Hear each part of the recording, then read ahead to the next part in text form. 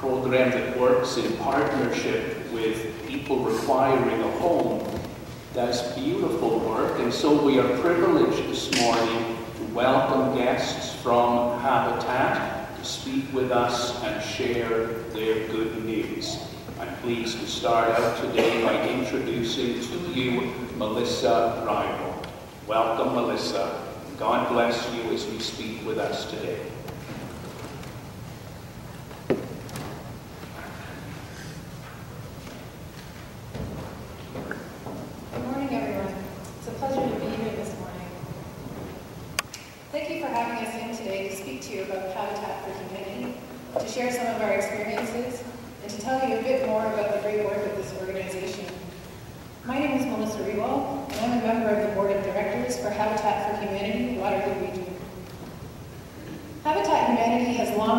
special place in my heart.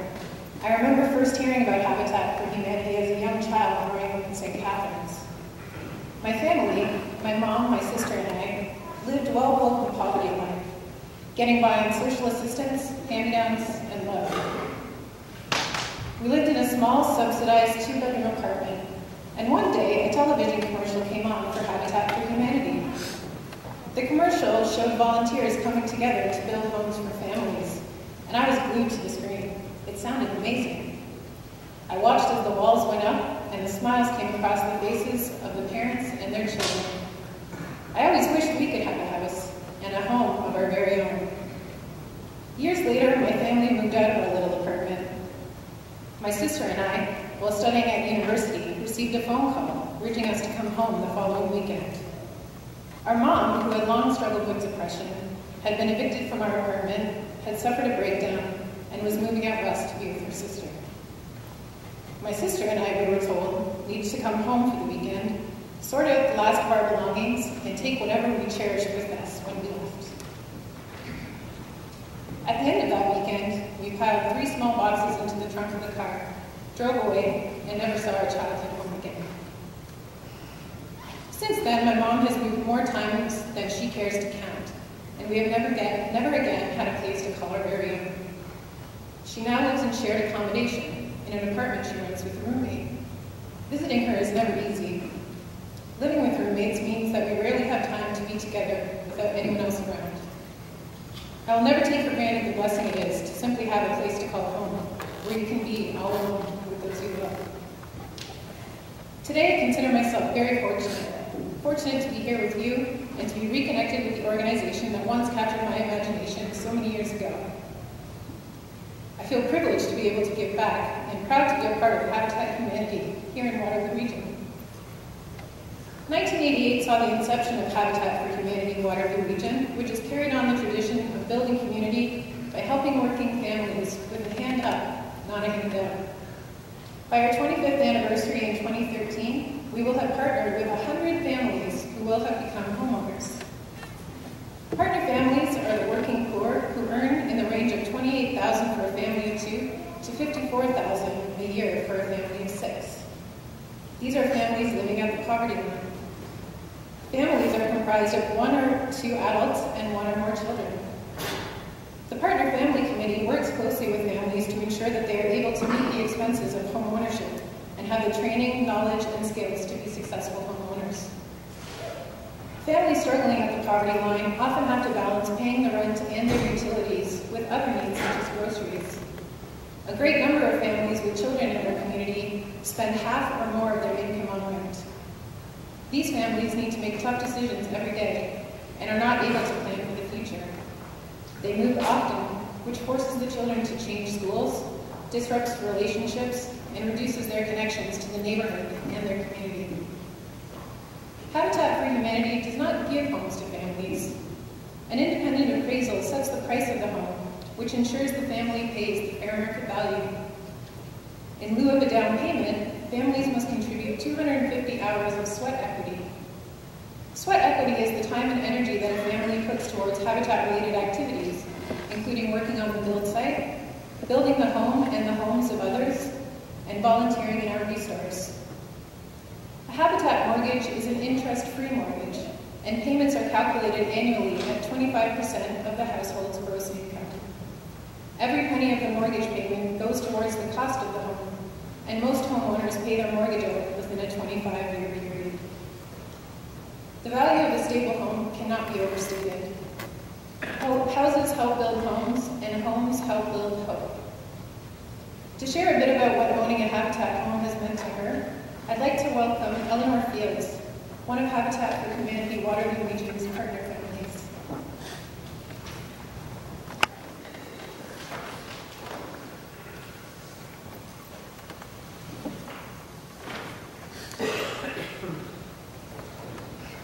I'd like to start by saying that I'm very humbled to hear a story like Melissa's, because unlike hers, ours turned out a little differently.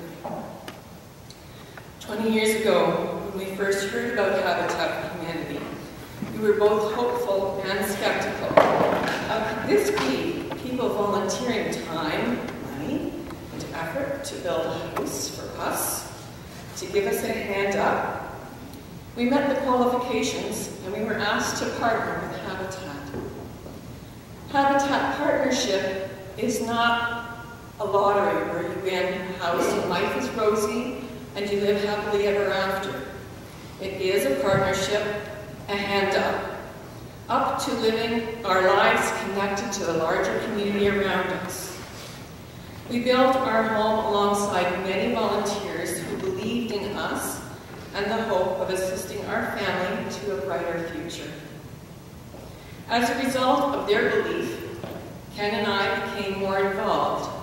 Ken coached t-ball, hockey, soccer, baseball, and serves on the board of directors for Crime Stoppers. And I volunteer at our local school. In the beginning of our partnership, I would speak at various gatherings with other Habitat members about how Habitat impacted our lives at that time. At that time, we had hopes for our children, hopes for stable friendship and a better education, growing into responsible adults. Between then and now, we lived. There were births and deaths, illnesses and healings, famine and feast, laughter and tears, and many, many road hockey games. Having part of, of in a 13 home blitz build, We had great neighbors, some of whom became friends. Our street of Habitat neighbors. We learn to lend and borrow, laugh and cry, garden and share barbecues together. We feel safe and we feel connected. On a deeper level, owning a home gave our children a place to root themselves and establish healthy relationships in a stable school setting. It also meant feeling good about themselves and the ability to reach a little higher, to set goals that meant giving them an education to use their God-given gifts to again build their generation's community. We have raised our three boys with the goal of passing on the sense of giving back. Our oldest, Chris, is a mechanic. Ben has pursued the arts. And Dan is in a grade 12 and has done his community hours in the Habitat Restore. 20 years of partnership with Habitat for Humanity most certainly is a hand up and a fulfillment to a dream. And I thank you for this time today, and I ask you to continue doing as the Holy Spirit asks you to do in building up others in your community.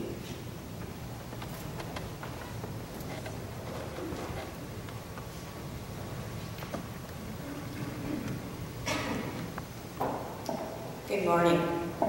I'm Karen Redmond and I'm an elder here at St. Andrews and I need to tell you how um, incredibly honored I am to share this uh, time with all of you with uh, both Melissa and Ellie. Ellie has already referenced that she's part of a very strong team and I'd like to acknowledge her husband Ken who's sitting in the congregation. I guess Ellie got the short straw and she got to get up here and speak. She looked out at all of you and at the uh, lights for the cameras and she said to me, this is the sweat part of the sweat equity. it is so fitting to be here today, and be welcomed with such open arms by St. Andrews. Habitat for Humanity Waterloo Region uh, celebrates many of the same things that values that we hold at St. Andrews. Today we are acknowledging and celebrating Earth Week. And like this congregation and so many people in our community, Habitat is actively involved in reducing our footprint in the Waterloo region to be good stewards of our environment. Each year, our restore operations divert 650 metric tons from and Waterloo uh, landfill sites.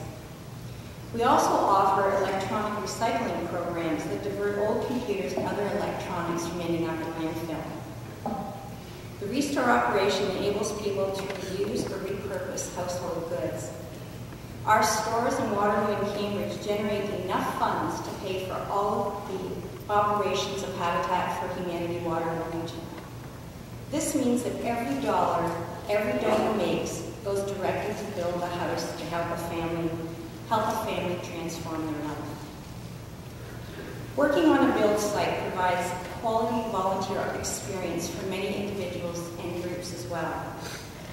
During our last build project, we have uh, benefited from local volunteers who have given approximately 10,000 hours of volunteer time working for our local affiliate. Now at Habitat, we strongly depend on volunteers. These volunteers may be professionally trained tradespeople who are donating their expertise and a portion of their time. Or, like me, when I first volunteered, it can be a first-time home builder who has never even hammered a single nail.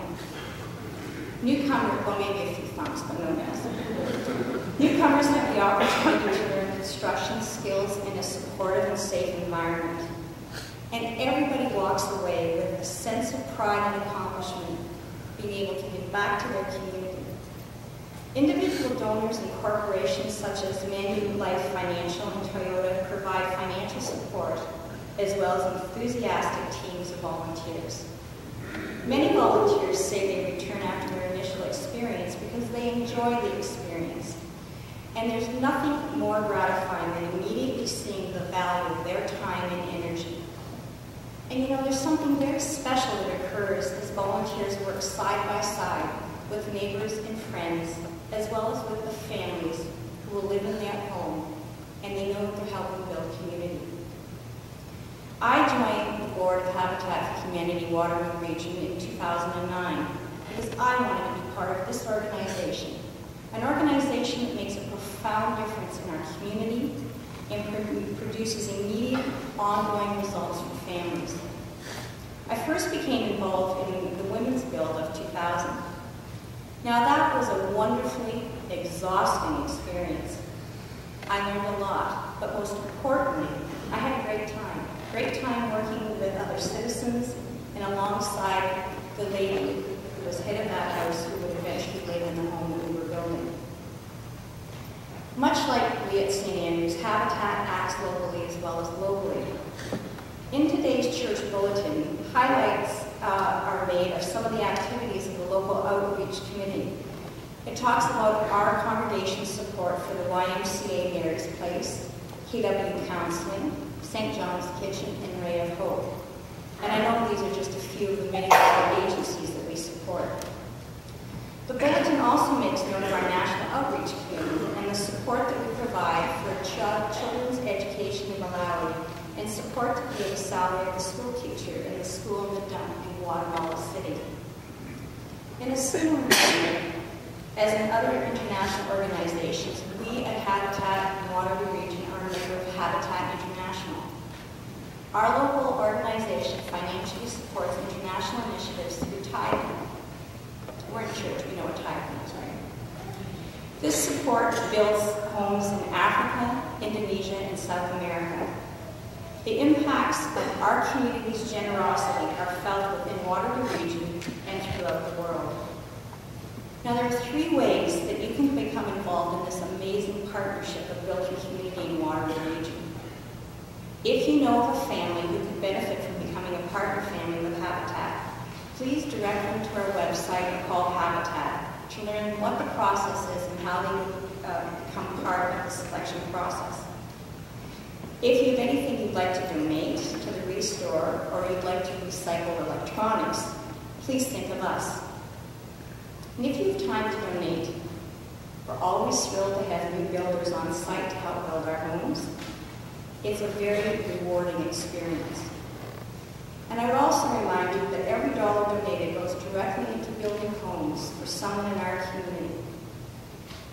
As Ellie and Melissa have so eloquently illustrated, Habitat not only offers a hand up, not a handout to hardworking families, but indeed Habitat continues to transform lives. Thank you so much for having us here today.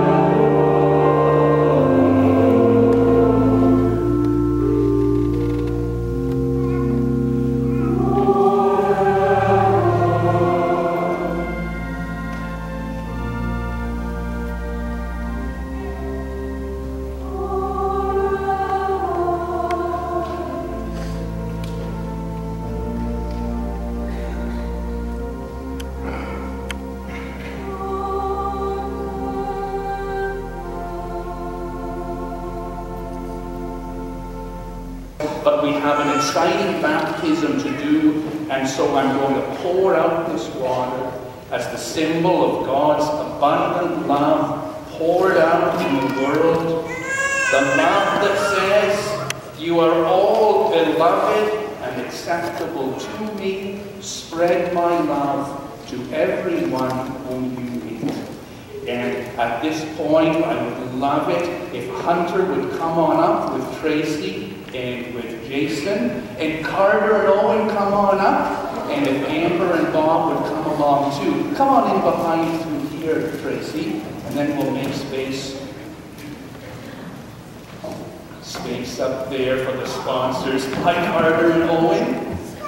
How are you guys doing? Are you going to help out with the baptism today? Excellent. And welcome, Amber and Bob. Great to see you here.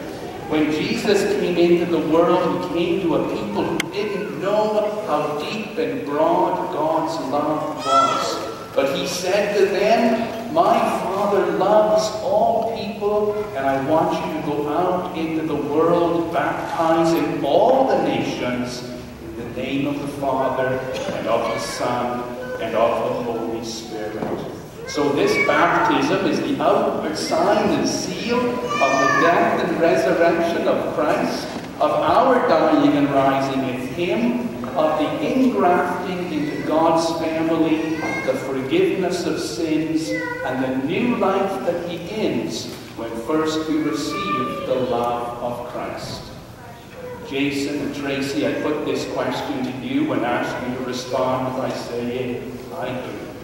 Do you confess of your faith in God as your Heavenly Father, Jesus Christ as your Savior, and the Holy Spirit as your Sanctifier? And do you promise that you will raise Hunter with an awareness of God's wonderful love? All right. Do you want to come and see me, Hunter? It's good to see you today. And you're going to have a smiling face. I hope so. And to the sponsors, Amber and Bob, I put this question. Will you do all within your power to see that Hunter grows up knowing the love of God? Yes. Thank you. Oh, should I ask you a question too? Carter and Owen, do you promise that you will be kind and gentle to your little brother so that he will know God's love is in you? Yes. Okay, good. I'm... Oh, okay. Oh, and you were once a baby? You, and you were both babies once. It's incredible. It's...